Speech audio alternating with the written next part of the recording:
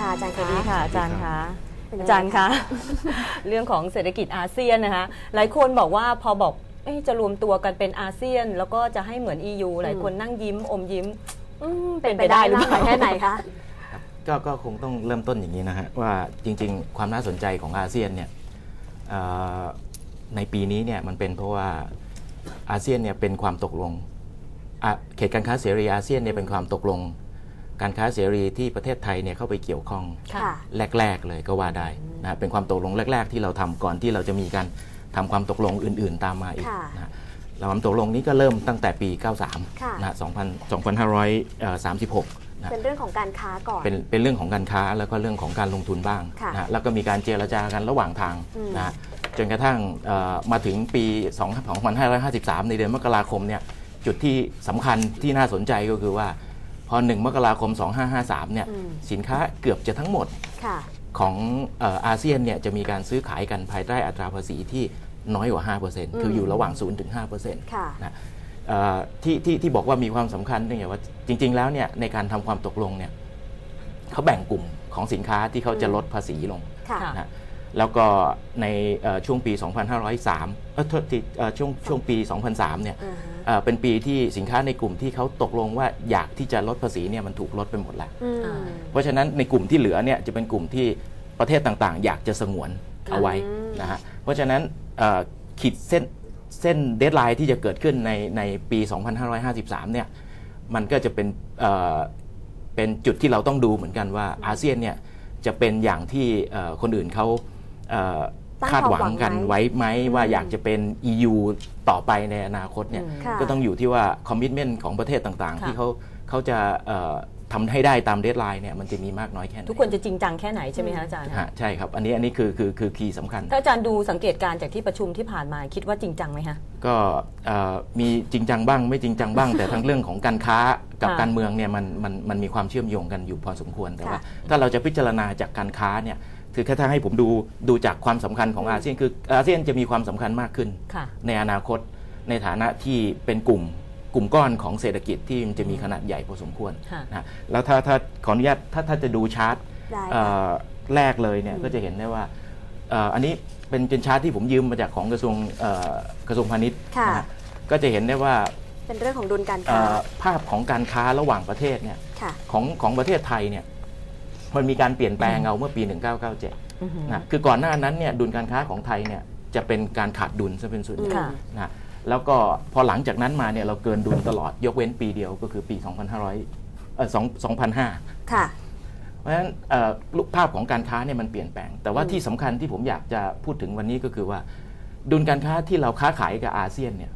เราไม่เคยขาดดุลเลยก็คือแท่งนะสีมีม่วน้งอยฮะก็คือแท่งสีม่วง ค่ะ ที่ผ่านมาเนี่ยตั้งแต่ปี 1992 93 ที่เป็นการเริ่มต้นของ FT ของของ AFTA เนี่ยอืมค่ะ เราเราค้าขายกับอาเซียนเนี่ยไม่เคยขาดดุลเลยอืมนะในขณะที่เราค้าขายกับประเทศอื่นเนี่ยเรายังมีการขาดดุลบ้างนะฮะทีนี้ถ้าถ้าย้ายถ้าไปติถ้าตรงนี้อาจารย์สรุปได้ว่าถ้าเรารวมกลุ่มเป็นประเทศอาเซียน แล้วก็มีการค้าขายระหว่างกันลดภาษีระหว่างกัน ครับ เราน่าจะได้เปรียบ เราเราจะมีความมีโอกาสที่จะได้ได้ได้เปรียบมากกว่าอืมค่ะ ครับ ฮะทีนี้ถ้าถ้าย้ายย้ายถัดไปเป็นชาร์ตรูปที่2เนี่ยค่ะ รูปที่2เนี่ยเป็นตัวที่แสดงให้เห็นถึงว่าเอ่อตลาดส่งออกสำคัญของไทยเนี่ยค่ะ เราพูดกันมาในอดีตเนี่ยตั้งแต่เอ่อก่อนที่จะมี AFTA เนี่ยก็จะเห็นว่าสัดส่วนของอาเซียนเนี่ยอยู่ที่ประมาณ 13.8%ค่ะ แล้วก็จะเห็นว่าสัดส่วนของอเมริกาเนี่ยอยู่ที่อืม22.4นะญี่ปุ่นอยู่ที่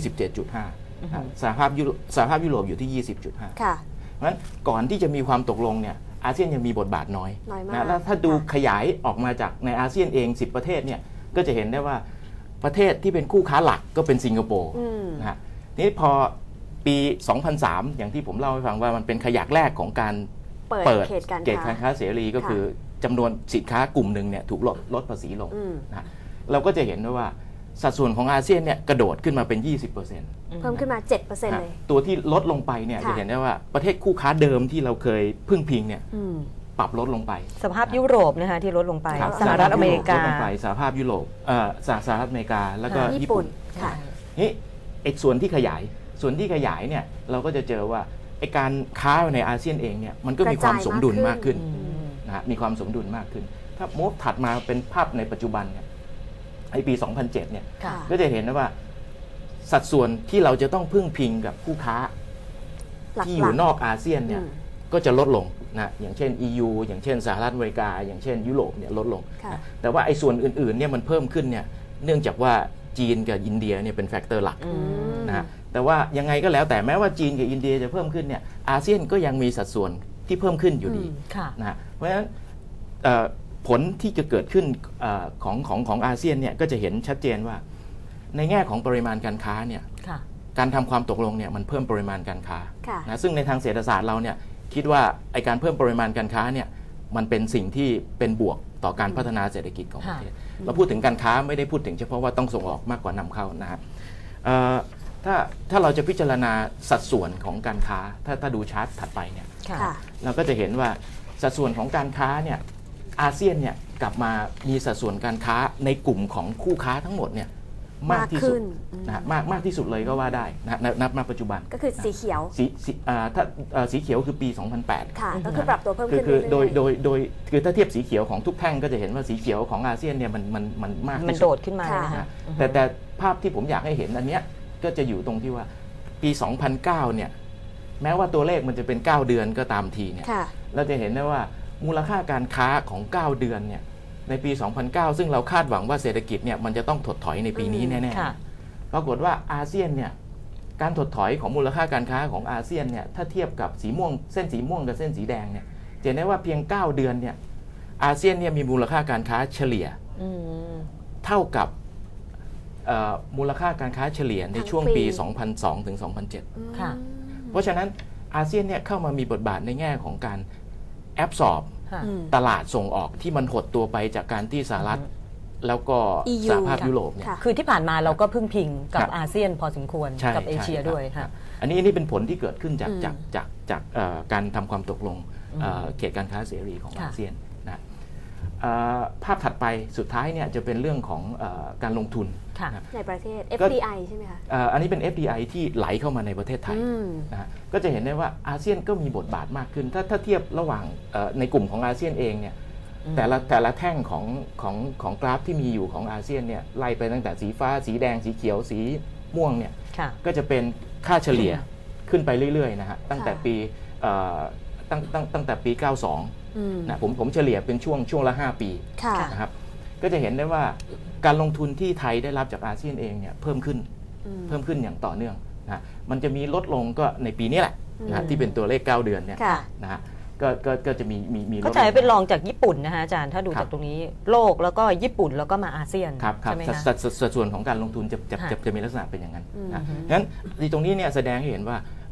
ถ้ามองไปข้างหน้าเนี่ย บทบาทของอาเซียนทำไมเราถึงต้องอยากเป็น AEC อืมอืมเพราะว่า AEC เนี่ยคือการ move จากการทำความตกลงในรูปแบบของ FTA อือหือไปสู่การทำความเอ่อไปสู่การรวมกลุ่มทางเศรษฐกิจค่ะที่มันใกล้ชิดมากขึ้น FTA มันไม่ค่อยเดินใช่ไหมคะอาจารย์ F- FTA เนี่ยเขาจะพูดถึงการค้าเป็นหลักอืมนะฮะแต่พอพอเราขยายความตกลงเป็นมากขึ้นเนี่ย AEC เป็น AEC เนี่ยเราพูดถึงการลงทุนกาปัรจค้าจัยที่มันจะมีการลงทุนความสำคัญต่อการลงทุนอืมอย่างเช่น การเอ่อ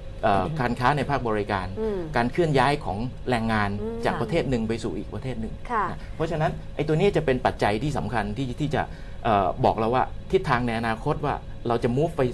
ไปไปในทิศทางของการเป็น EU ในอนาคตหรือเปล่าค่ะเพราะฉะนั้นถ้าจะถ้าจะสรุปจริงๆเนี่ยบทบาทสำคัญของของอาเซียนในกรอบของการทำความตกลง FTA เอ่อของอาเซียนเนี่ยจะมีอยู่ 3 เรื่องที่สำคัญค่ะนะ อันที่1ก็คือปริมาณการค้าอืมมันถูกปรับเพิ่มขึ้นค่ะค่ะเพราะฉะนั้นอาเซียนก็ทำหน้าที่เป็นตลาดที่สำคัญขึ้นมาอืมอีกหนึ่งตลาดนะที่จะรองรับสินค้าจากประเทศไทยค่ะนะประเด็นที่ 2 ก็คือมันทำให้ภาคการค้าระหว่างประเทศของเราเนี่ยมีการกระจายความเสี่ยงอืมซึ่งก็จะลดการพึ่งพิงตลาดหลัก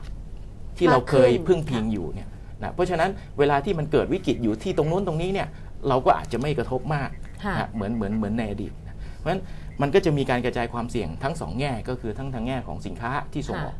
แล้วก็ทางแง่ของการเอ่อใช้ปัจจัยการผลิตจากในอาเซียนเอง เพื่อพัฒนาให้เป็น